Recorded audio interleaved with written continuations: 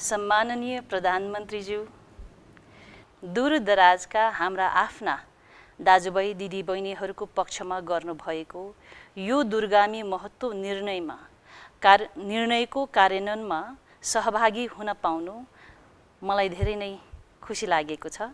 त्यसैले प्रधानमन्त्रीज्यूको यो निर्णय कार्यान्वयनको सारथी बन्न तुहिन विस्थापन गरी एउटा मात्रै भए पनि झुलुङ्गे पुल निर्माणका लागि म मेरो तर्फबाट सानो